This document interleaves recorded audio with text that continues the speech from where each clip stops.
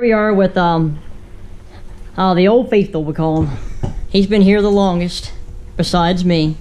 It's Zach. Everybody knows Zach. Zach's working on actually uh, working on a new new computer for a client. We're going to deliver this afternoon. He's always back here in his corner, working, working away, slaving away.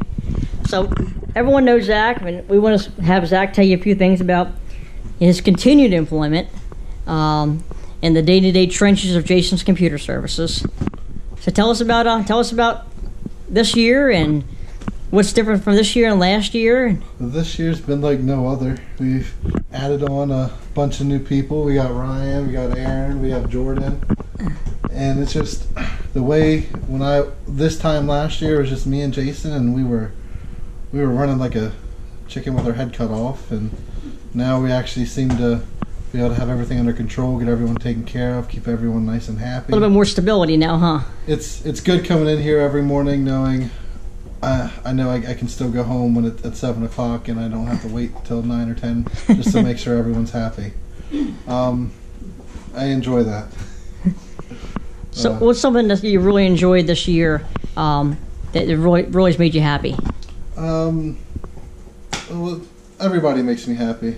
I love making making sure everyone's happy at the end of the day. That that I know businesses, clients, they're they're happy with their computers and they, they understand how to use them and how they work. It makes me it makes me feel warm inside. Yeah, that, that's a good that's a good value to have, Zach, and that's one of the reasons why we really enjoy um, having you here, part of our team, because we know how much you do care about those customers.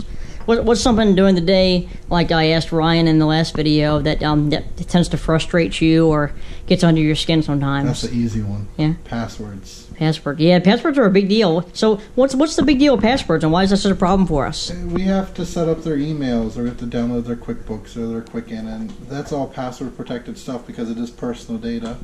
And people don't remember what their passwords are, so we get to go through the reset process and sometimes it can just be frustrating. So what's a good tip you can give some of our customers that watch this video to help in the future if they come in here with things? Get a password book.